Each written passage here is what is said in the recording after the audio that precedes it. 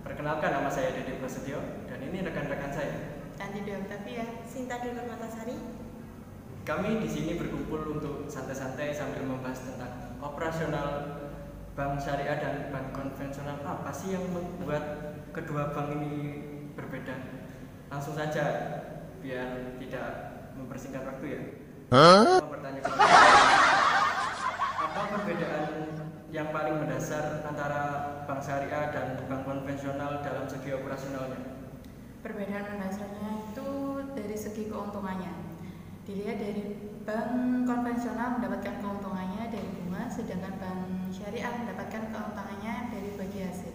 Contohnya, jika ada seseorang yang ingin kepada bank syariah, maka akan diadakan akad terlebih dahulu berapa besarnya hasil usaha nanti yang disepakati. Dari kegiatan operasional tersebut, adakah hasil program-program yang telah dioptimalkan yang menjadi pembeda dari bank konvensional yang sudah dijalankan oleh bank syariah? Ada. Yang pertama tabungan mudoroba. Tabungan mudoroba adalah simpanan yang penarikannya hanya dapat dilakukan menurut dengan cara tertentu saja, tidak dapat diwakilkan oleh cek, ATM, atau lainnya. Dari Mbak Sinta, selain dari tab- tabungan tersebut, adakah program lain yang mungkin telah berjalan dari bank syariah itu? Eh, seperti deposito Budaroba. Dana dapat ditarik sesuai dengan waktu yang telah disepakati tersebut. Jadi itu yang membedakan. Next, pertanyaan selanjutnya dari Mbak Sinta ya. Di dalam bank syariah, adakah prinsip-prinsip investasi yang mengikat para nasabahnya? Ada, yaitu ada dua prinsip investasi mudaroba sama investasi musyarakah. Bisa dijelaskan?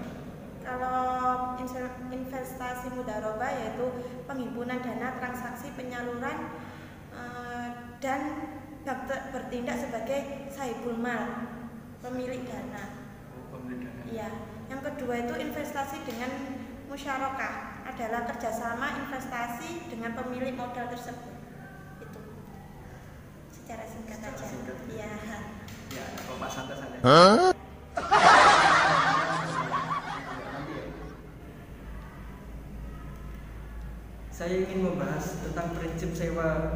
Bagaimana sih skema yang berjalan dalam prinsip sewa yang diterapkan oleh bank syariah?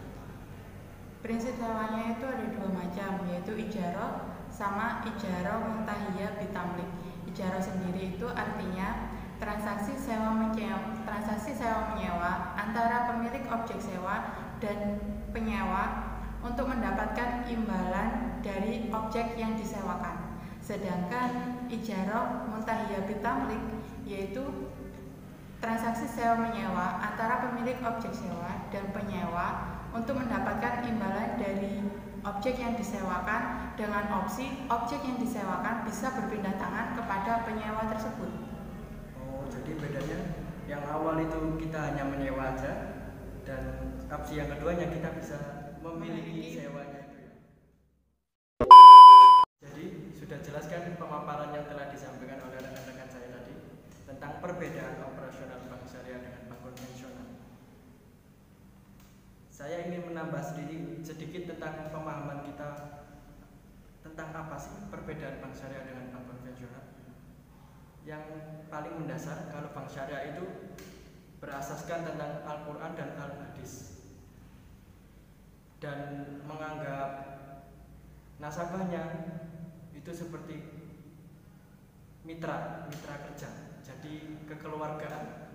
Sedangkan kalau bank konvensional, konvensional itu bank yang berkiblatkan tentang peraturan hukum positif di Indonesia. Hukum positif di Indonesia itu ada dua, hukum perdata dan hukum pidana. Dan untuk nasabahnya, hubungan antara nasabah bank konvensional dengan nasabahnya itu antara debitur dan kreditur. Sekian menurut saya tentang pembahasan tentang operasional ini. ini adalah vlog pertama kami. Kami mohon maaf jika ada salah-salah kata, mungkin sedikit grogi atau kata-kata yang terpatah-patah. Semoga ini bisa menjadi pembelajaran untuk kita semua dan sukses selalu untuk mahasiswa Indonesia. Terima kasih. Bye bye. Assalamualaikum.